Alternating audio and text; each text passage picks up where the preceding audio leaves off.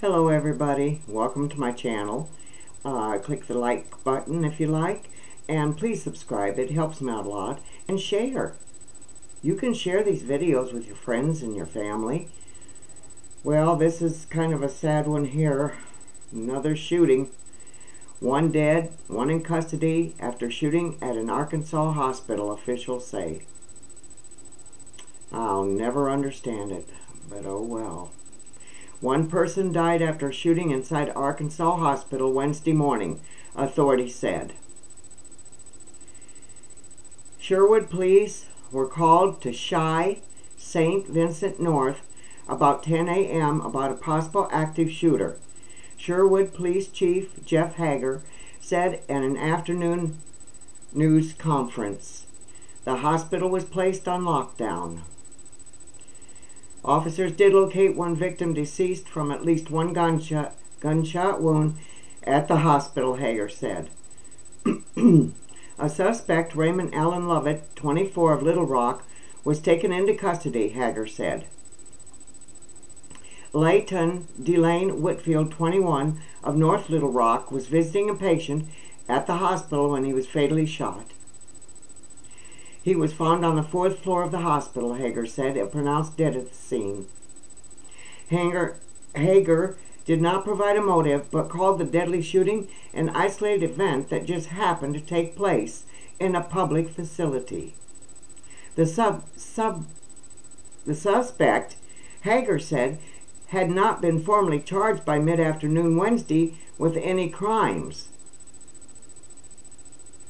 Hospital CEO Chad Aduddell, Doodle, A-D-U-D-D-E-L, Aduddell, said that staff had trained for active shooter scenarios and that the hospital's security measures would be reviewed. We will debrief and look at our security protocols, continue to drill and take precautions he said. He called the deadly shooting a tragic situation, and yes, it was. In a hospital. Oh, mercy, mercy. Little Rock Police said in a tweet they assisted in the investigation by detaining a potential suspect in an Exxon gas station. Officials said the suspect was detained about an hour after the shooting was reported. Hospital spokesman Joshua Cook said the lockdown was lifted Wednesday afternoon and regular operations had resumed. The hospital is once again seeing patients, Cook said. Sherwood is about 10 miles northeast of Little Rock. Mercy, mercy, mercy.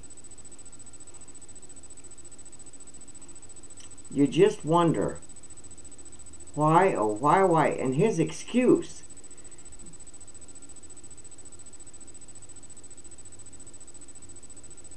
Where was that? Layton Delane Whitfield, 21. 21 years, 30 Rock was visiting a patient at the hospital when he was fatally shot. 21, so young, his life just wiped out. Hager did not provide a motive, but called the deadly shooting an isolated event that just happened to take place in a public facility. What kind of mind does that Hager got? It's like, it's just, oh, an event that just happened in a public place. Mm, I don't know, but uh, my thoughts are not proper for me to speak of as of right now. So I will say I have no words. Let me go find another article that I might have. Mercy to Murgatroyd. I tell you what, we just, we never know, do we? Never know.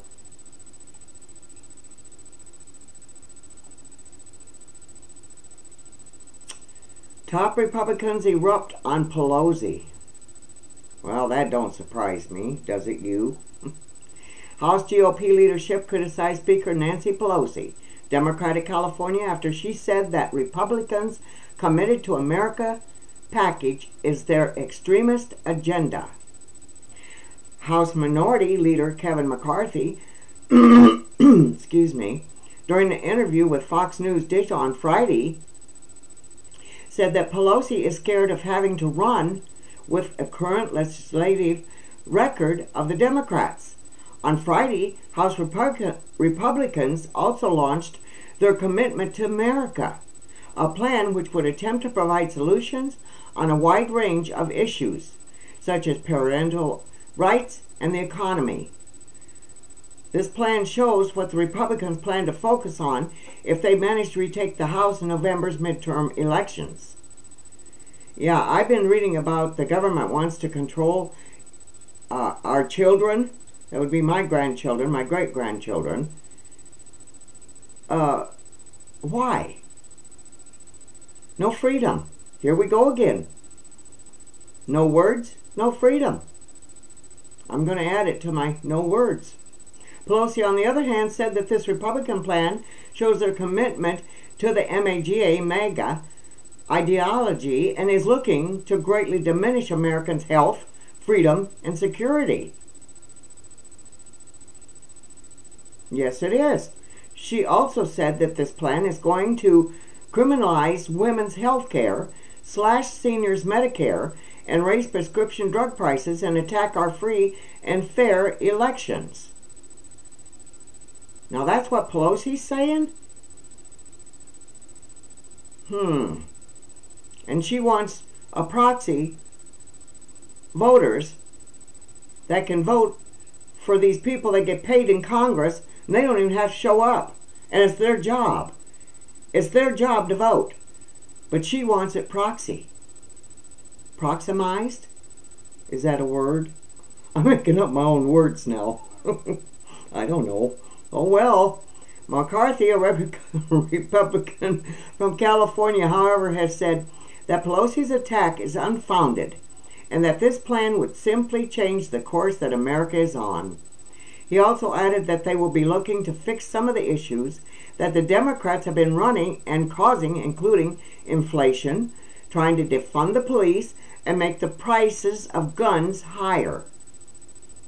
He added that currently the Democrats also don't have any plans to fix the problems they're causing. House Minority Whip Steve Scalise, Scalise, Republican of Louisiana, said that the comments made by Pelosi show that she is out of touch with Americans.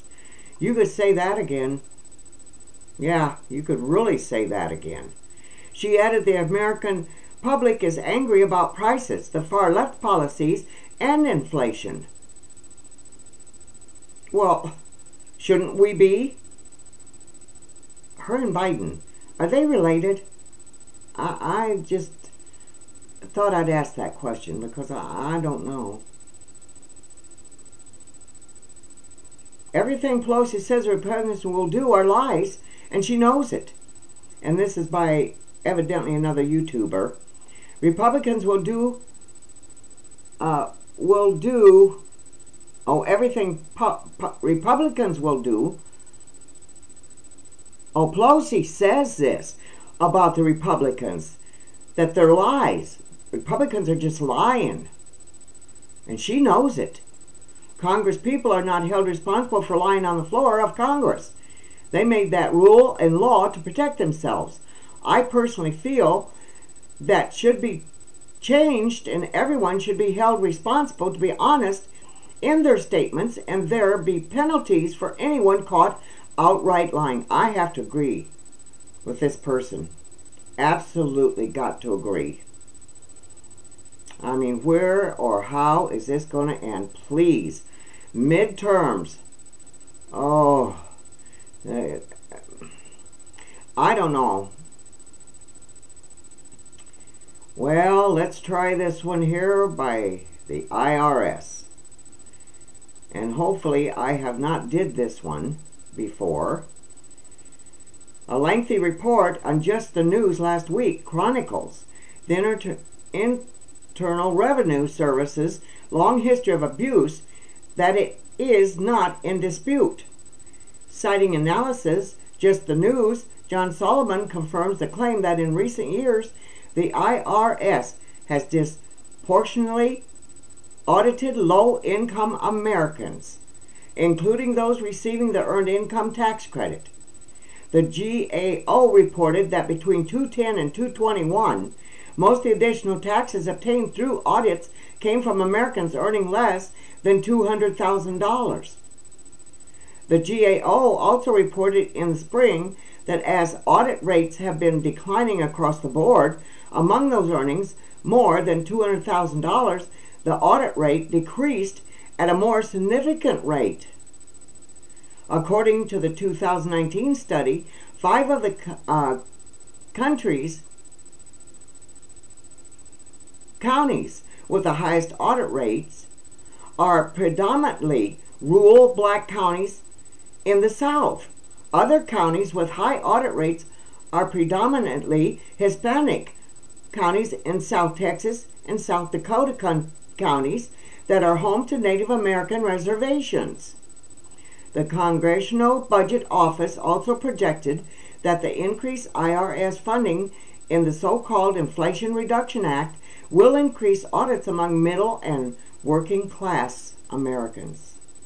What's more, over half of all IRS, IRS workers were still working remotely as of April of 2022, and this trend predated the COVID lockdowns. Last fall, the National Treasury employees unions reached an agreement with the IRS to further expand the number of employees who can work from home, including those in customer service positions.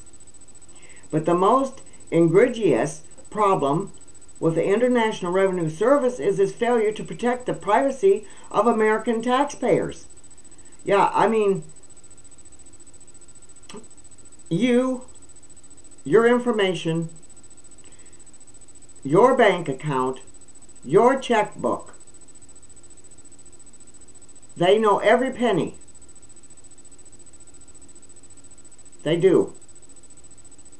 I read this how many times, and I know you have too. We are not alone anymore. Now, here comes a new word, governized. We are all being governized. In other words, they control us. We're like puppets and they're going to pull our strings let alone what Congress does to us, and a president like Biden. Oh, mercy. Earlier this month, the IRS confirmed that it's improperly published the private financial information of about 120,000 taxpayers online, including the filers' names, contact information, and significant portions of their financial records. What did I just say? We all knew it. This is not news to us. Why do they think we're stupid? You know, this is not news to us. We've known this for how many years now? And still, they're going to take over our children and take over us. Everything. Our decisions. Freedom. Freedom. What happened to freedom? Oh my God. To date, the IRS still hasn't held anyone accountable for the 2021 leak to the outlet Pro ProPublica of private tax information from the wealthiest Americans, despite such a leak being a felony. Now let me go over that again. To date, the IRS still hasn't held anyone accountable for the 21 leak to the outlet ProPublica of private tax information from the wealthiest. What they do, leave out the wealthy people and just the middle class and poor? Well, we don't doubt that, do we? We just don't doubt it. No, we just don't frickin' doubt it. Okay, well, that's going to be it for now. I'm going to uh, look for some more articles to read and um, I sure could use someone to help me do things like other people do on here, but I'm getting by the way I am, so maybe I'll find another uh, person that could help me do some stuff. Uh, I would like to get um, the the speaking news reports and have me down in the corner. Do you get what I mean? You know, I see a lot of it, and I, I love that. Because it isn't just me reading words then. You would be able to see for yourself what I'm what I'm saying you know. But I need help getting that done. I have tried it. And I was afraid I'd probably mess my computer up worse than it already is so I quit. But um, I need to find a coach. And Walter he just you know he left too soon. God love him. Okay I'll be back. I will find some more news, and I wished I would look at the camera too. You know what Walter told me to do? He said put a picture of someone you love by your cam and talk to them like a grandchild, mother, father, sister, brother, cousin, whatever, someone that you you love and put their picture by your cam and talk to them.